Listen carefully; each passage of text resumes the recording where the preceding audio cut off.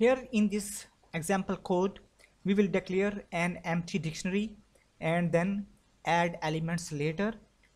When you don't know what key value pairs go in your python dictionary you can just create an empty python dictionary and add pairs later. So this is our dictionary with the name as dinosaur. And we are declaring this as empty dictionary. Here you can see the type of dinosaur here. So this is of dictionary type and we have created an empty dictionary here in this example. And now we will add elements to this dictionary.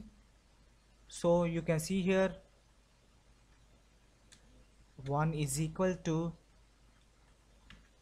I am going to add the elements that is Plateosaurus this is the type of dinosaur.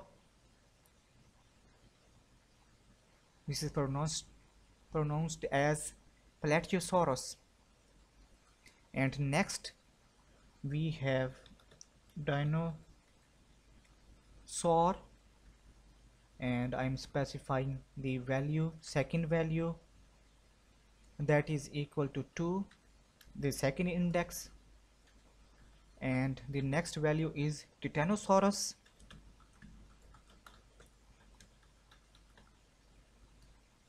And dinosaur 3 and this this is lost value. That is equal to sauropod. And in the end I am going to print this dinosaur dictionary.